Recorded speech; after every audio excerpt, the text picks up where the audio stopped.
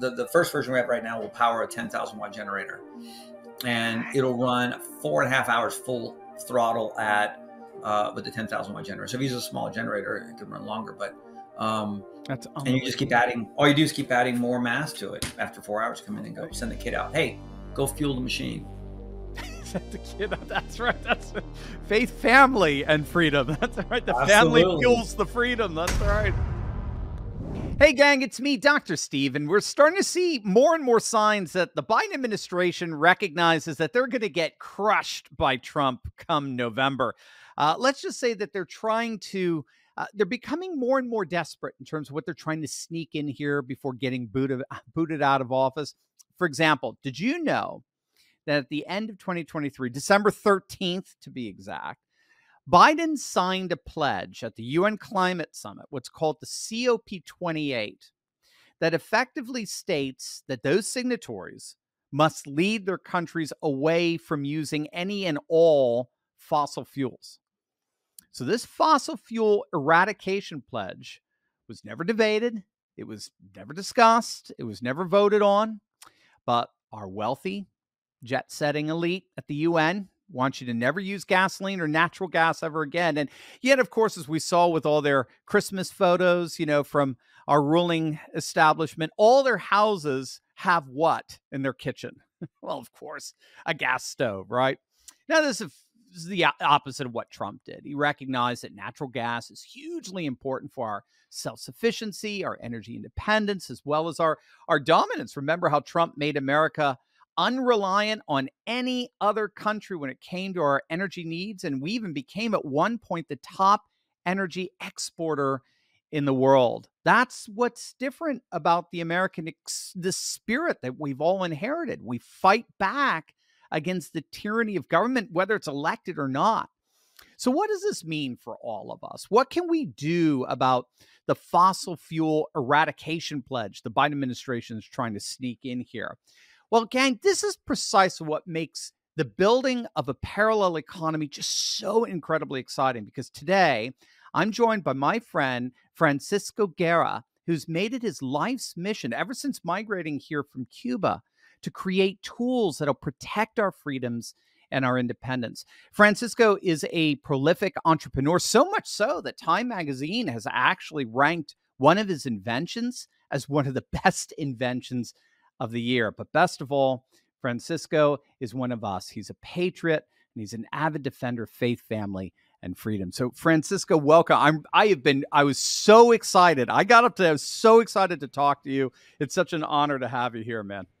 Oh, thank you. I'm a, I'm a big follower, and uh, we all stand together in our fight. So, yeah, it's exciting. It is. It is, and you you you make that fight all the more invigorating by your your your your inventive imagination that you put into practice. It's so amazing. I mean, what do you what do you make of this move away from fossil fuels? I'm I'm I'm curious. I mean, could it actually happen?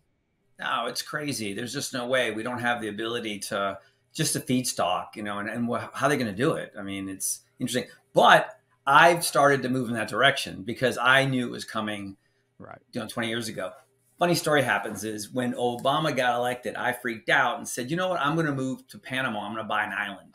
A couple of my friends did it.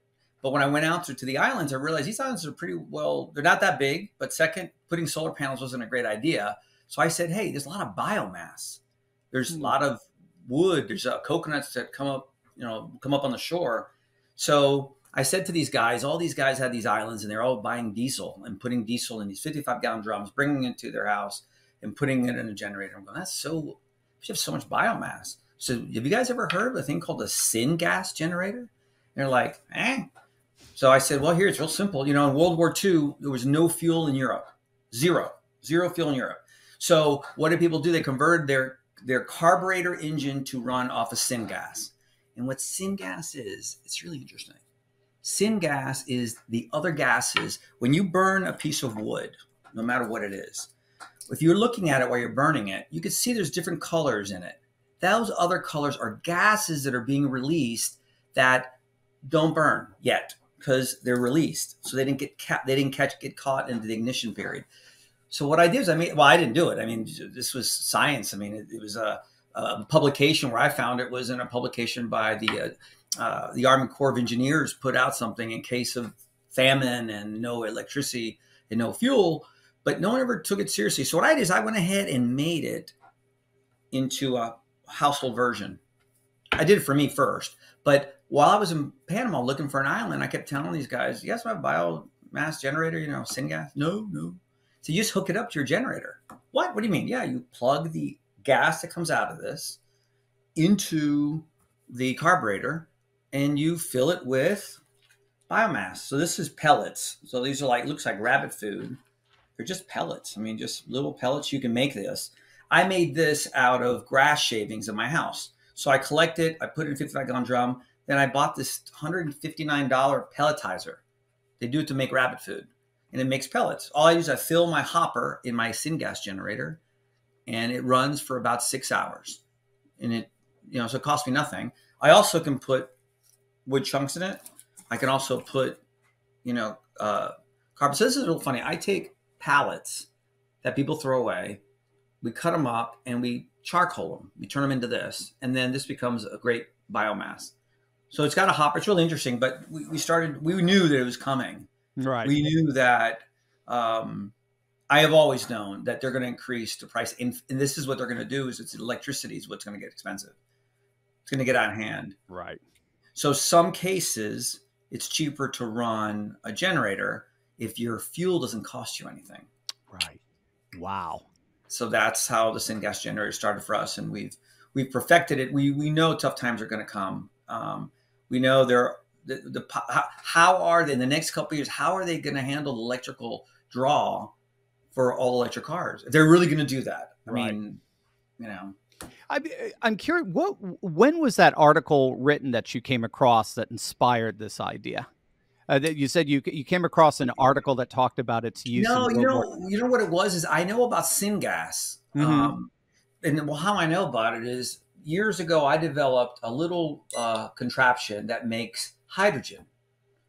And what this machine does is it takes water, it hydrolyzes the water, but I also could take a little straw from here and run a little motor with it.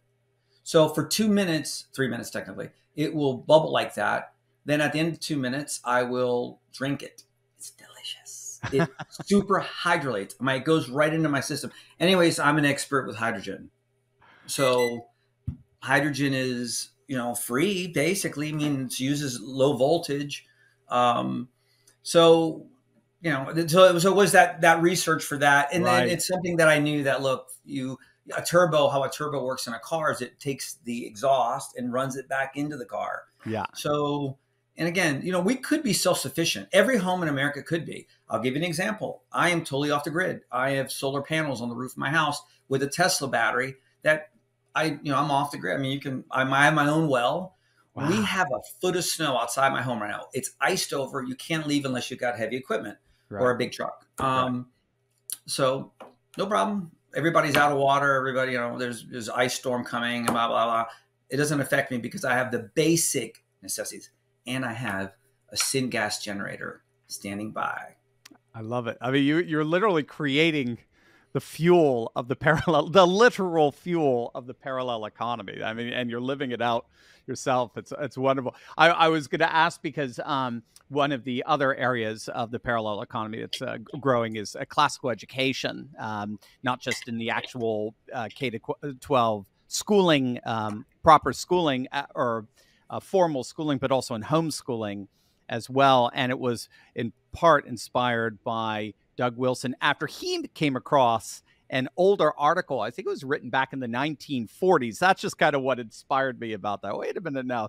S- similar things going on about how we used to do education, how we used to educate yes. virtue and wisdom with the great books, with theology as the queen of the sciences and all that. He started bringing that back back in the early 80s, there were only a couple of classical schools at that time. Today, now there's, I believe, we're getting close to about a thousand. I mean, it's just it's just exploded all over the country. So I, you guys are all tapping into the same, I think, creative energies of wait a minute, you know, we know how to do we, this. We, we did it. tap we, it. Yeah. We, look look at I mean Tesla's technology for free energy. I mean, it's been designed. We know it works. It just you know who's going to be the first one to do it. Right. You know. Right. Um, that's why I made these home versions, and I'm coming out with something else. You want to hear my latest new thing? I, this is what this is why I was so excited to. Talk. I mean, you you're like Willy Wonka. Go.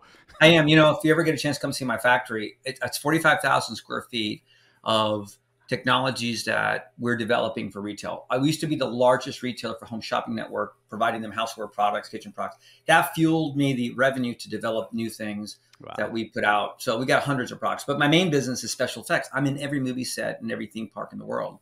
But you know, so we have I've got these resources. I've got a lab, I've got engineers, I've got a machine shop. We can develop all kinds of things. And that fuels me to do my uh, I call it my uh, inventing for humanity. But uh, we one of our uh, I live half my time in Puerto Rico because of a tax program until this year. Now I'm here all the time because it's so much so busy here. They have such a huge plastic problem. We now know that in our cells we have what's called microplastic. It means that there's so much plastic that it gets into our cell level. That small plastic. We don't know what to do with it.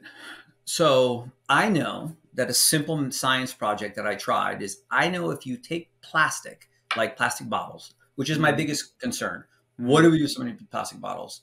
But what if I told you you can take all the plastic that you use at home and if you put it into this little device I've developed, very simple, and you pack it in with all the plastic, say once a month, you have 40 pounds of plastic. What would be neat? Wouldn't it be neat if at the you turn this thing on and 40 minutes later out comes diesel, clear diesel. And that's what we're working on. That's 2024 is we're releasing a product anybody can have at home uh, it uses heat. So the syngas generator could be used to give the heat to run. But basically, when you cook plastic, most people don't know yeah. this, it yeah. goes back to its natural form, uh-huh. which is it's actually it's kerosene diesel. It's in the middle.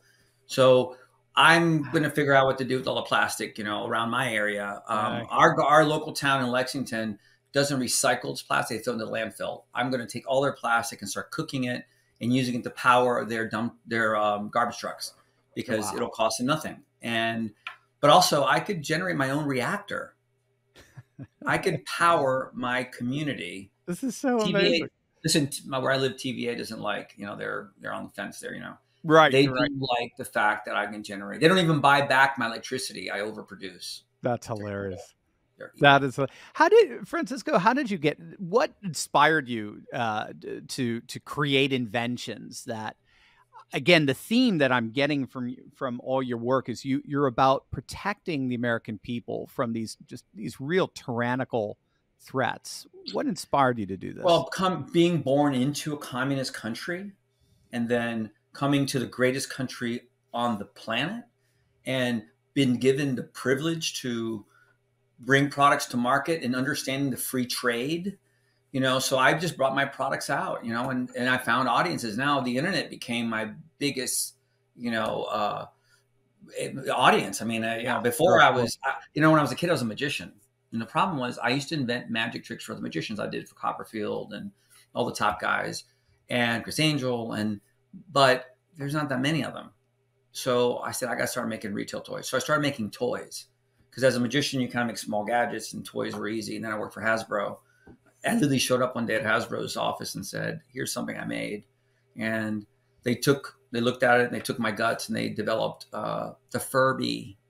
That was one of my first inventions. No way. And years later, I developed the electron, the, the inside components to Tickle Me Elmo. Which really, oh my! Yeah. Oh wow! I, I, did write a book on on my past. It's a pretty good little book, and I'll, I'll give it to your audience if they want it. I'll uh, I'll send you a link so they can download. Oh, that'd be wonderful. Absolutely. But it's how to invent. So what I learned early on, I said, what do the wealthiest people in America do? Well, they own trademarks, copyrights, and patents. Mm-hmm.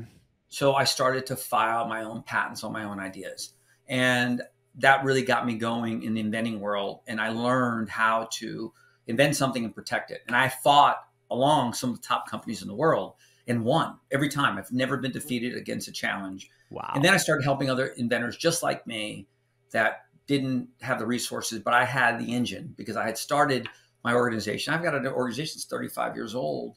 You know, it's that's got dedicated people that know what my mission is. And remember, mission simple is what's best for America. So I was one of the first in China to making products. I know, I'm sorry, but I'm the first to leave. I have brought my molds back and I'm encouraging everybody. Crazy story. Here's something crazy. Yeah six months ago, my plant manager in China, who's been with me for a long time, calls me because I just got a notice from uh, immigration to come be here tomorrow at four o'clock. He gets there and there's a long line of plant managers that are American running American plants over there. And they got him on a room. They said, Your visa's been revoked. You have 90 days to get your stuff and go. Huh. The, the point is, they're kicking us out. Yeah. That's it. That's all wow. she wrote. Wow. So I'm moving on. I've been moving it for a long time. The problem is there's some, we have technologies over there that the only place to make certain parts and pieces. The good news is all of us that are in the same spot have already been moving the technology back. We're, we're moving our semiconductor machines back here. The problem is, we taught them how to make our stuff. Now right. we need to learn how to mm-hmm. make it here. But we're I'm telling you, go ahead and upset an American. We'll figure out a way to to do it, and that's what. that's yeah. right. Amen. Yeah. Amen. so there's there's thousands of me. I mean, they're literally I thousands of me. You know, the, the, American entrepreneur is the strongest entrepreneur in the world. I mean, absolutely, absolutely. Did I did I read that you um, that you you actually got into trouble um, by helping some churches? So you know, um, years ago, um, I started. Uh, I bought a bought a bunch of rental property like hundreds of rental units, and I had to, and I had to um, figure out a way to process their payments because back then they were just doing checks. They mail you checks. So I developed a software that actually let me scan the checks quickly. Well, before you know it, I was a pretty big processor, a check processor. Banks don't want to process checks anymore. So I started to So it gave me the ability to be an interesting banking middle. Well, when Trump went out, all of a sudden the the organizations I supported that were out there financially supported me. We gave, you know, donations. We helped them make sure they had money and revenue. I did a lot of their marketing in the background because we we monetized mailing lists. Their credit card processing shut off. Wow. Not one, but hundreds. Yeah. And you know yeah. what they were? If they had anything to do with giving money to the good guys. Yeah. They were shut off. You know what I did? I turned them all on. I was I you know there was nothing illegal about it. It's they they applied an app, they filled out an application, they were they had everything ready to go. Two years after that, they came after me. Mm-hmm. Not only me, but everybody in my industry. But right. I was targeted because I did all the Christian organizations. Right. You know, look, halfway houses, missions that yeah. are overseas. It doesn't, it doesn't matter. It has nothing to do. Yep.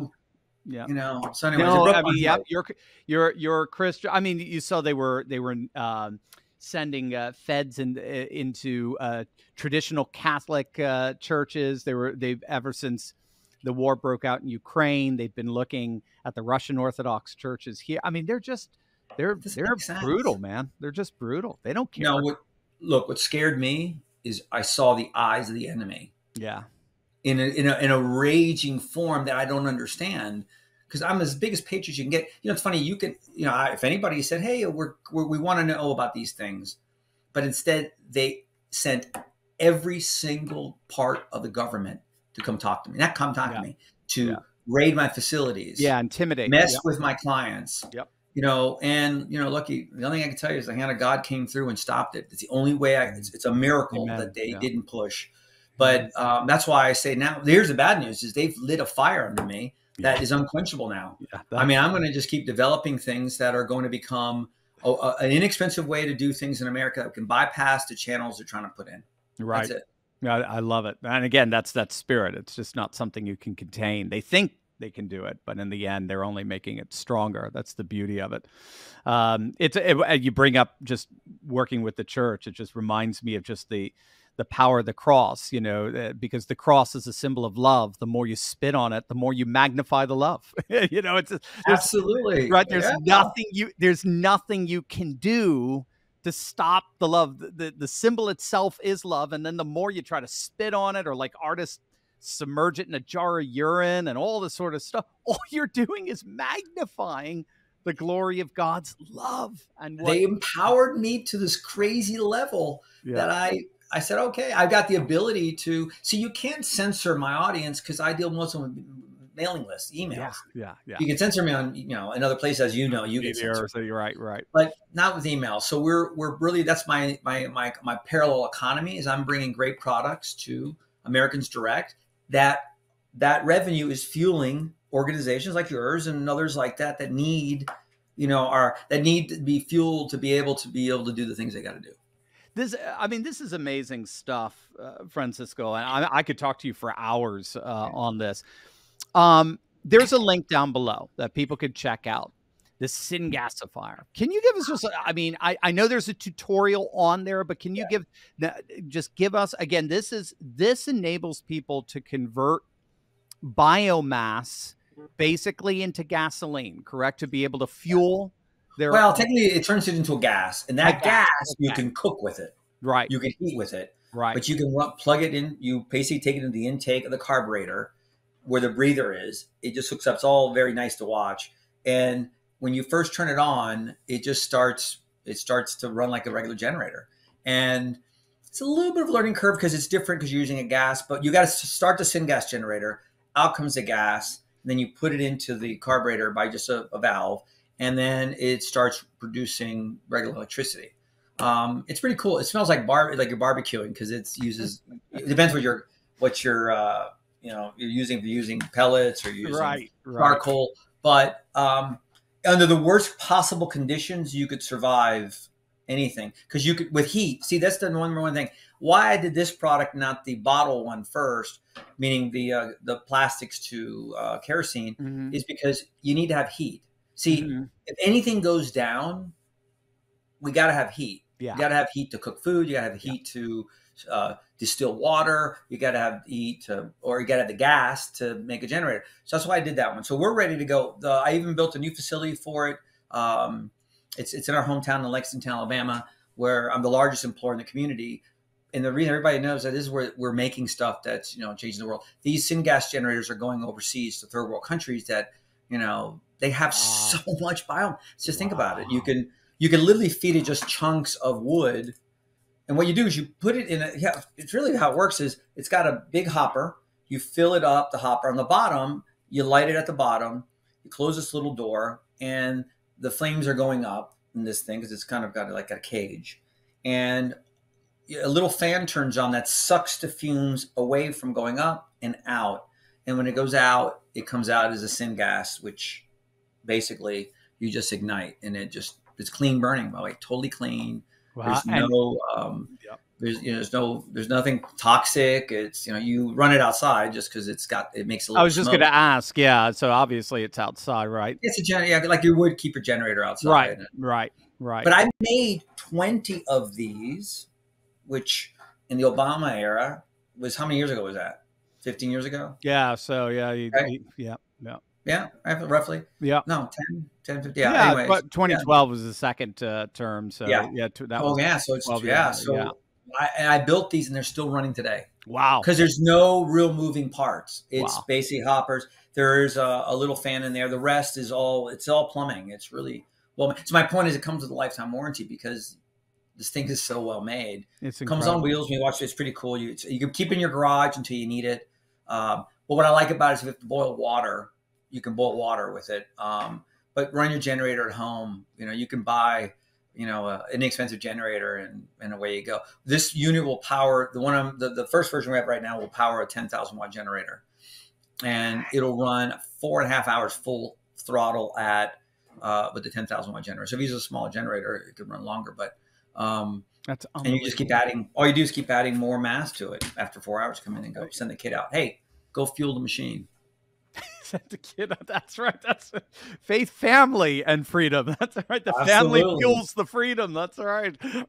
I love it, gang. This is. I mean, this is what excites me so much about the rise of the parallel economy. This is amazing stuff. What I love so much about Francisco is he wants to help you foster self sufficiency, precisely yeah. to free you up to defend faith, family, and freedom. He's amazing. So gang, whatever you do, uh, if you're looking to become more self sufficient, I think every single person's audience should have one of these devices. They're absolutely unbelievable. If you want to be more self sufficient, less reliant on the government and what they the, the insanity they're dealing with here. Uh, again, should be every single one of us. Make sure to click on the link below. Check out Francisco's amazing tool that enables you to make your own fuel. This is unbelievable stuff. I highly, gang, I could not recommend Francisco and his work more. He's an amazing inventor. Even Time Magazine has recognized it. Click on the link in the description below. Check it out. The Syn Gasifier. This is astonishing stuff. I mean, again, think of it as the literal fuel of the parallel economy. I mean, this is the ultimate is. ticket to independence. So click on the link in the description right now. Watch a video about this amazing product that helps you make your own fuel gang. This is what we're all about faith, family, and freedom, independence. Uh, I mean, Francisco, I mean, dude, I was just, when I looked at your stuff, I was like, this guy is amazing. You are everything that a parallel economy is all about. I mean, literally everything. I'm just, and the, one of the thoughts I had, uh, I'll just share with you is between you and Elon, we're good. yeah, he's we, amazing. We are good, man. We are good. We got some some pretty impressive minds and imaginations captaining this ship, and we're good. So, dude, from the bottom of my heart, thanks for all your oh, oh please, it's American way. Yeah, well, and yeah, and thank God you you and your family. How old were you when you migrated over to the uh, United States? Crazy story. My parents immigrated. I was nine months old. My parents left Cuba and went to Spain. We lived there for four years till we got our visa here. So I came here at the age of five, and my dad worked really hard. My dad and my mom they put us through school, and um, I knew right away. Uh, you know, hey, come on, this you know everything's at your fingertips here compared to a communist country. You know, yeah, and yeah. yeah. five years old. You know, and the rest yeah. of the time. Well, it was so cool too because like during the uh, DeSantis uh, 2022 campaign in in Florida, it was really neat because everybody was talking about the Cuban American population, particularly in Miami Dade, and they're like, dude, these guys are amazing. They're so conservative and they're so entrepreneurial and there's this, they're just so American, and it was beautiful. To I, we talked earlier. I studied my uh, guitar teachers from Cuba, Manuel Barrueco. You know of them as well, your guitar player. And it is, it's just beautiful to see this island in the Caribbean that's unfortunately just had this, this rough patch since what was it, 1959, 1960. Yeah. And, uh, and just to see it can just its citizens come here and continue to flourish in a way they haven't would never be able to do uh, locked uh, under that regime. It's just a, it's just so beautiful and so heartwarming to see, and just God is so good to to give us the gift of your talent. So I appreciate it so much, Francisco. Oh, it's my pleasure. I'm taking some to Cuba, by the way. I'm bringing some gas. Oh, are you? Are you? I was just going to ask if you've uh, yeah. if you've been well, back. I'm I'm going. I've been a couple years ago. I'm go, about to go in the next couple months for an extended trip but I'm going to bring a couple gasifiers because they can reproduce them there. Yeah, um, yeah. They're starting to do some export, which is really funny. They're exporting tractors to the United States. Interesting, interesting. Yeah, yeah. I think it. I think it will eventually start. You know, the the the fire of freedom does eventually break out there. It it it will. It's just going to take some time, but obviously with your interaction, it'll happen all the all the sooner. So yeah, keep us updated on that, Francisco. Yeah, that would be. We'd love to have you back to talk about that. Thank you so much. It's my pleasure. Thank you. Thank you. You bet. All right, gang, click on that link below. This is amazing stuff. This is the fuel of the parallel economy. Make one, a Syngasifier, one of yours. You're going to absolutely love it. Click on that link below. Right now, Francisco, God bless you. Thanks so much for being Thank with you, us. Thank you, my brother.